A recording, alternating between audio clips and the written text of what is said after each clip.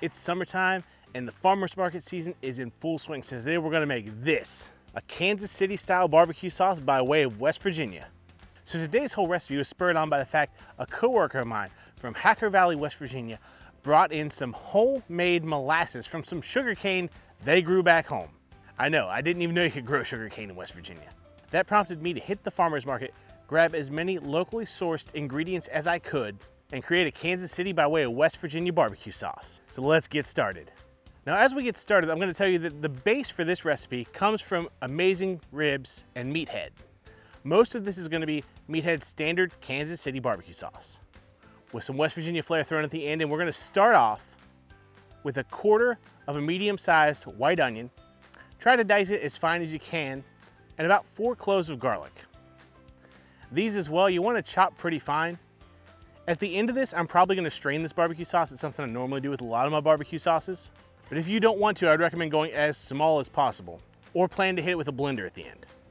Once we get that done, we're gonna use our char griller flat iron griddle and put a big pan on it, hit it with a little bit of oil and get that garlic and onion sauteing up. We wanna get it to sort of soften up just a little bit, get translucent, start to get very aromatic. So when I went to the farmer's market, what I found that I wanted to use were peaches and serrano peppers. I thought about doing jalapenos. Everybody does jalapenos. Let's do serrano chilies. If you don't know, they're very similar to a jalapeno as far as heat. They may be a little bit hotter. You always have some variance, especially with locally grown stuff. But a serrano is a really great little chili. Basically, all I'm gonna do is have these peaches and remove the pit and cut these serranos and remove the seeds and veins. Now it's also worth noting here that I let this fruit and these peppers get very ripe. If you don't know, fruit's always the sweetest right before it goes bad. So don't let it go bad, but let it get nice and ripe. Back over to our pan, after our onions have got translucent, the smell is fantastic coming off of this, we're gonna toss in our dry ingredients and let them toast up a little bit. Now the full recipe for this sauce is down in the description below, but generally you've just got your normal chili pepper, paprika, salt, pepper, those kind of things. We didn't need to add garlic because we've got garlic in here. We don't need to give these a lot of time, but we wanna let them toast and open up a little bit.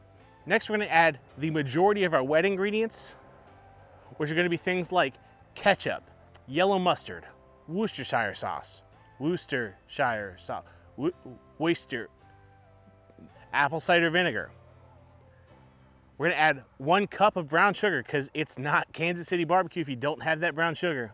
We're gonna add some maple syrup for sweetness.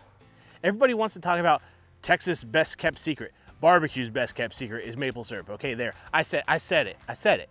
That's a joke. It's the worst kept secret. Everybody knows to use maple syrup. And this is where a little bit more of the West Virginia flair comes in. First, this is locally sourced honey, not only locally sourced, but it's from my dad's farm. And we're gonna add about a quarter cup of that honey. And lastly, we're gonna come in with about a half a cup's worth of this Hacker Valley molasses. Again, sugar cane in West Virginia. I had no idea. Once we give that a quick stir, we're gonna throw our chilies that we've cut up into some big pieces into the sauce. Now we cut them up like that so they'd be really easy to retrieve at the end. Even though we're gonna strain it, I just want it to be extra easy to get those out. And I wondered what the best way to infuse these peaches into the sauce was. Should I juice them in my juicer? And I thought not everybody has a juicer. So you know what, we're just gonna squeeze it. I'm gonna try to get most of the skin out, but I'm also not worried about it because I'm gonna strain this at the end. So squeeze them in there. And as you're stirring, just try to break down that peach. It's gonna sweat down and break down and get as much of that sweet peach goodness in there as you can. Now here's the super boring, but super important part. We're gonna keep this on a low heat, basically simmering and stirring and just letting all these flavors incorporate for about a half an hour. After about a half an hour though, it looks like this, and we're ready to strain this and get it into a jar. So you don't want a super fine strainer when it comes to this. Strainers are really cheap. Unfortunately, I couldn't find mine. So next best thing is a pretty small colander. Works just the same. And all we're gonna do is put this colander on top of a bowl and slowly pour our sauce in, take a rubber spatula, and just move the solids away from the holes so the sauce can drip through. Keep doing this until it's all through. then I recommend a bowl with a spout so we can pour it right into our mason jar. Now I'm gonna let this cool on the counter, put the lid on it, and put it in the refrigerator because I assure you that right now if you taste it, you might wanna make some adjustments. And if you do, go ahead and do that. But it's gonna taste way different tomorrow. And now that it's tomorrow, it's time to get the true taste test. So we've got our Kansas City by way of West Virginia barbecue sauce, little finger test here. It's a good thickness. That's solid.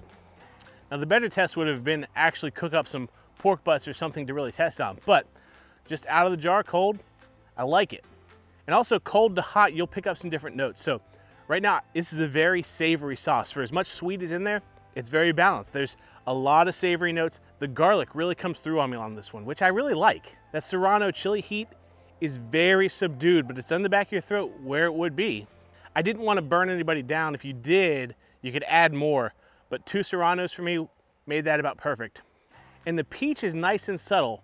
If you know it's in there, you can pick it out. But if you don't know it's in there, it's not gonna be something that really bothers you if you don't like peaches. Because for some reason there are people that don't like peach flavor.